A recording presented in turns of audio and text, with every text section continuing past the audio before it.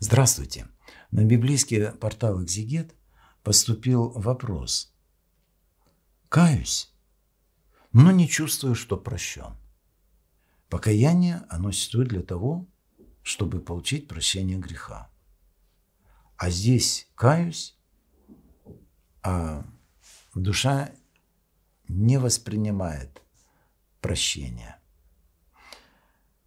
Есть слова апостола Павла – из послания к римлянам. Римлянам 8 глава, 16 стих. «Сей самый Дух свидетельствует Духу нашему, что мы дети Божии». Дух Божий свидетельствует Духу нашему, что мы дети Божии. Вот это очень важные слова христианской стереологии, то есть христианского учения о спасении. Мы действительно порой достаточно основательно сконцентрированы на покаянии. Причем на покаянии, ну вот так, как оно в церковной практике – то есть надо попаститься, надо прочитать э, покаянный канон, надо исповедать свой грех э, священнику. Ну и может быть еще что-то, еще что-то. А нет ощущения, что грех прощен. И на следующей исповеди человек опять э, говорит об этом же грехе. Не потому, что он вновь его совершил, а потому что тот грех уже исповеданный остается, заноза не вытащена, и душа не чувствует освобождения. Дух Божий свидетельствует Духу нашему, что мы дети Божии, а значит, что греха этого уже нет. Мы приняты Отцом Небесным. Э, таким образом, очень важно, чтобы это происходило. А что для этого? Но есть опять некоторые, ну, может быть, так немножко внешние, что ли, вещи. Э, навряд ли душа почувствует себя прощенной, если она продолжает пребывать в этом грехе. Причем пребывать сознательно. Разные вещи. Раздражение. И ты в этом покаялся. Ты действительно в этом каешься. Но вот какая-то ситуация, ты не сдержался, опять раздражился. Это один случай. А другой, ты не обращай внимания, я на тебя накричал. Э, я зла не держу, но я такой. То есть раздражение ты считаешь нормой, это ты такой, и ты едва ли не считаешь это каким-то своим достоинством. Так вот, эм, в грехе надо покаяться, и чтобы Дух Божий засвидетельствовал Духу нашему, что мы дети Божии, что мы прощены, для этого грех должен быть оставлен. Как минимум, он должен быть оставлен в намеренном исполнении. То есть я отрекаюсь от этого греха, и я этого больше никогда сознательно, специально делать не буду. А уж если это случилось Э, по немощи я сорвался, то я тут же в этом опять каюсь. Но я нисколько в этом не оправдываюсь. Уж принимайте, я такой. Нет. Я сам себя в первую очередь не принимаю такого. Э, я с этому противостою, я с этим борюсь.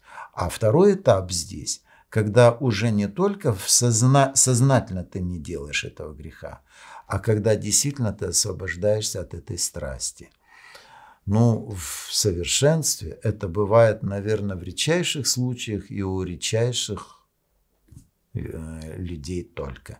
Даже большинство подвижников признавалось, что оно борется со своими какими-то страстями до конца жизни. Но бывает и освобождение. Потом бывает все-таки освобождение, пусть не абсолютное, но все-таки существенное освобождение э, от порочной страсти. Э, Все равно бодрствуйте и трезвитесь, ибо дьявол ходит, как рыкающий лев, и ища кого поглотить. Послание апостола Петра. Э, то есть ты никогда не должен успокоиться. Все, я освобожден от этой страсти. Мы реально иногда чувствуем, что мы освобождаемся от какой-то страсти. То есть нет больше к этому никакой тяги. Нет никакого желания. А раньше было. То есть Господь освободил от этой страсти. Но кто стоит, смотри, наблюдай, чтобы не упасть. Слова апостола Павла. Ну вот. Таким образом, чтобы ощутить, что грех прощен, должно быть оставление греха. То, что Иоанн Креститель говорит, э, сотворите достойный плод покаяния. Он же говорил и покайтесь. Но еще и достойный плод покаяния, а это именно оставление греха. Вот это очень важное условие. А второе, как ни странно, оказывается, мы в Иисуса Христа-то как Спасителя вовсе не верим. Он какой-то божественный, где-то на небесах, все может, судья, ну, много что еще. В конце концов, милостивый, милосердный, милующий, все есть. А грех так и сидит за занозой в душе. Потому что если я каюсь, то много есть слов. Если у пророка Исаия, если даже одежда наша была э, как багряная, то есть как испачканная кровью одежда убийцы, то убелю и соделаю белее снега. А кто исповедует грех, тот э, будет омыт кровью Иисуса Христа. Э, таким образом, многим даже воцерковленным нашим прихожанам, оказывается, еще надо уверовать во Христа как своего личного Спасителя. В то, что кровь Иисуса Христа омывает и очищает нас от всякого греха. Этой веры многим нашим прихожанам не хватает. А без этой веры никогда не будет этого свидетельства, э, что мы прощены. Ну, естественно, если грех перед кем-то, то он не может быть нам прощен, если мы не помирились с тем, перед кем виновны. И Дух Божий – это реальность. Все-таки для многих верующих Бог – это некая реальность, пусть и загадочная, таинственная, непостижимая, Он Всевышний. Иисус Христос более реален. Родился в Вифлееме, крещен в Иордане, э, жил в Назарете, распят в Иерусалиме и воскрес. Тут как-то все понятно, реально. А вот Дух Святой мало для кого реальность. Говорим Отца и Сына и Святого Духа. Но мало для кого Дух Святой – это реальность. А преподобный Серафим Саровский, он как раз говорит, что стяжание Святого Духа, в исполнении Святого Духа, это говорит апостол Павел, исполняйтесь Духом Святым. И вот, скажем, он говорит, не упивайтесь вином, в нем же есть блуд. Большинство христиан это знает. А дальше? Там не точка, там запятая. Но исполняйтесь духом. А это как будто не важно. Главное, что не пьет, не блудит. Хм, ну, главное, что я не разбойник. Да нет, это э, об этом, по идее, это бы в приличном обществе разговора не должно было быть. Главное – это исполнение Святым Духом, а то тому мешает.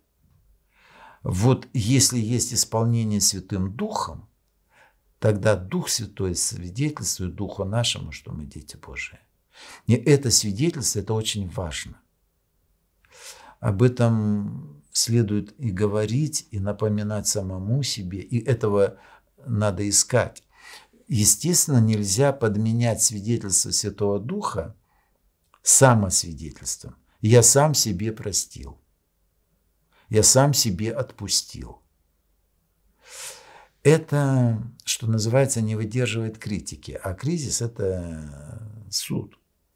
И мы всегда в жизни оказываемся в ситуации, которые нас судят. Я не имею в виду сейчас какие-то хоть гражданские, хоть церковные суды. Э, сама ситуация э, кризисна, и опять все всплыло.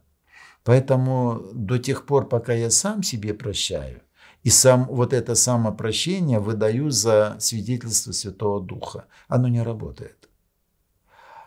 И поэтому это то, что святые отцы называют прелестью. А от этого надо открепаться. Но если мы взыскуем Духа Божия, исполняемся Духом Божиим, и если мы веруем, что кровь Иисуса Христа омывает нас от всякого греха, в это уверовать следует. Многим верующим еще надо уверовать. Как ни странно бы это звучало. Верующие, ну да. Апостол Иаков и вовсе говорит, и бесы веруют, и трепещут. То есть вера, ну, ну веришь. А вот уверовать, когда душа принимает Христа как своего Спасителя, и когда кровь Христа омывает от греха, вот это очень важно. И это надо пережить. Это относится к тому рождению свыше, о котором Христос говорит Никодиму. Это обязательно надо пережить. Без этого христианская жизнь – это по будням не Настя, а в празднике дождь. Дай Бог услышать нам в глубине нашего сердца вот это отпущение грехов от Духа Святого. Внеси свой вклад, оцени, подпишись и поделись этим видео.